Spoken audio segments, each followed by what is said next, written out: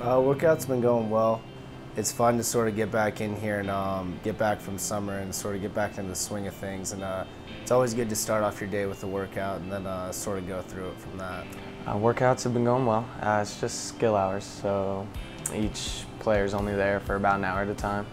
Um, you know, just the, the basic stuff right now, uh, leading into fall practices. But as a pitcher, the pens are going well. The staff's looking real good. We got a lot of them. Um, very excited to uh, start inter squads. Uh, I see um, a lot of leadership from the new guys. Uh, not too much. Uh, some guys are immature, but you expect that out of freshmen. Sort of have to whip them in shape a little bit. But um, most of them, uh, they know what we're about here, and they know uh, what we're trying to accomplish. So they're all sort of in it for the goal. Uh, this summer, I had the uh, opportunity to play in Cape Cod. Um, play for Orleans Firebirds, and I was with uh, Riley Moore was on my team and played against Maggi, Newman, and Gilbert. So that was a lot of fun. Um, I mean, a lot of a lot of good competition. The feeling of um, getting back and uh, getting to work on stuff. You always come back and uh, think about the season before. You think about uh, if you're playing summer ball, what you want to work on there, and uh, you play every day, so uh, you don't really get that much time to work on it. So uh, it's really just um, a good two, three months to sort of get better in the weight room, but also work on stuff on the field. Um, you know, what I've noticed is that we do have a lot, a lot of uh, new guys, both scholarship and walk-on.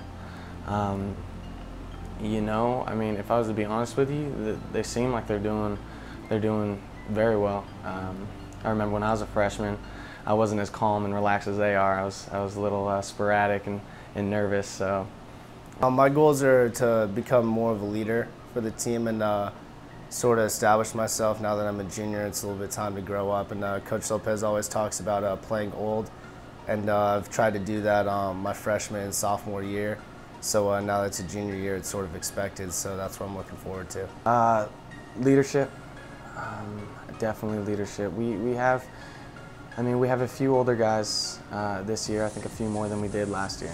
We keep the atmosphere very very competitive, very tough. You know, be there for the for the younger guys when when they need us, because we are going to have a lot of younger guys, both freshman and sophomore, playing every single day and uh, contributing uh, just as much as the rest. So we need to make sure that we're there. We're there for them, um, and you know we're we're the ones that they can look up to. Mainly uh, be more of a factor uh, in the lineup throughout the whole year. I uh, started off a little bit slow last year and then uh, picked it up towards the end, but uh, we didn't uh, exactly accomplish the goals we wanted to last year and our, reach our highest potential. So I'm looking to get after it from the start and extend it throughout the season really, really get ready and, and, and, make sure that every time we go out there, we're, we're working the hardest we possibly can. Um, because just because it's months before season, uh, doesn't mean season won't be here uh, in a flash. So we need to we need to be ready, and, and, and we will be.